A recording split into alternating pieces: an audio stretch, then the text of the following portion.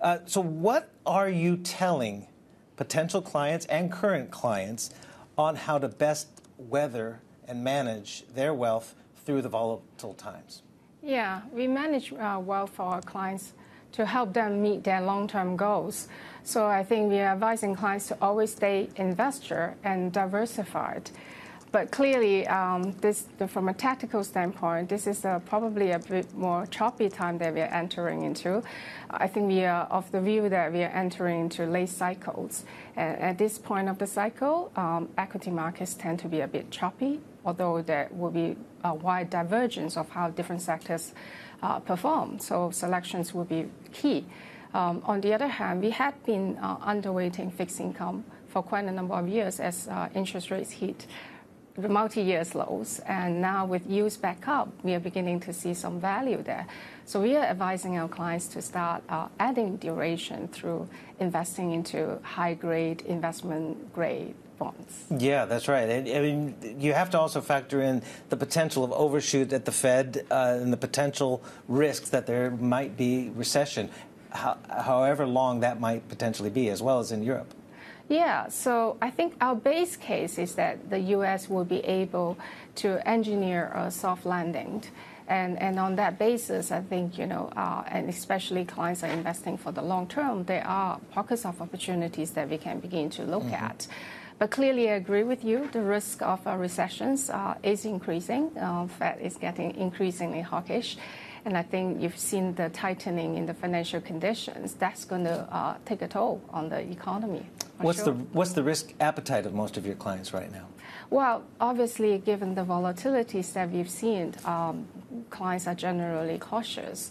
Uh, but this is where you can really help to uh, help them look at the long term, because so, the money is really for to help them meet their long term goals and uh, stay invested will be important. But obviously, um, risk management is another thing we look at. So as long as clients are not overly leveraged, um, I think values are beginning to emerge. And I mentioned about fixed income. That's clearly another area that we have fairly high conviction. You're right. On. How have you seen the assets under management grow? I mean, the last couple of years, uh, I would assume 2021, 2020, uh, pre-pandemic as well, was, was quite blistering growth. Uh, how is that being shaped as well through some of this volatility uh, this year? We've been very fortunate. I think Asia has been growing at a much faster pace than the rest of the world, and we've seen um, quite a significant amount of wealth creation. So obviously we've benefited from that, and you rightly pointed out the last couple of years were actually record years for us in uh, Asia's history. So that helps to uh, probably give us a much you know uh, stronger launch, launch pad to grow our business from here onwards. Uh, but Q1 has been challenging. I think we can see it for ourselves. Capital markets around the world have all fallen, and in fact, almost all asset classes have fallen. Um, and so uh, some of the uh, uh, less than one correlation that we usually observe in asset classes uh, wasn't there in, in Q1. So challenging time, but we've seen it before. We are in the business yeah. of managing risk. We've seen volatilities like that before. So and everyone I've talked to at this summit have been talking about you're in it for the long haul, right? So what does that mean for hiring? I saw a report in January uh, that you were looking at hiring more than 100 new private bankers uh, for to service your clients. Can you give us an update on your hiring practices? Yeah, we have been, you know, uh, as I mentioned, growing our assets under management in the last four or five years. Our expectations are that they will continue to grow at a fast pace, and we hope to double again in the next four or five years. And we need to plan for the long run. I mean, talent uh, needs time to be grown and developed. So we can't be hiring today for, for the business today. We need to hire uh, for the long-term growth.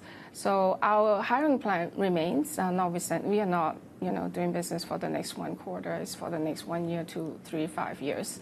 So uh, we continue to stick to our growth plan, and and and clearly um, the other challenge and constraining factor is, is really talent pool.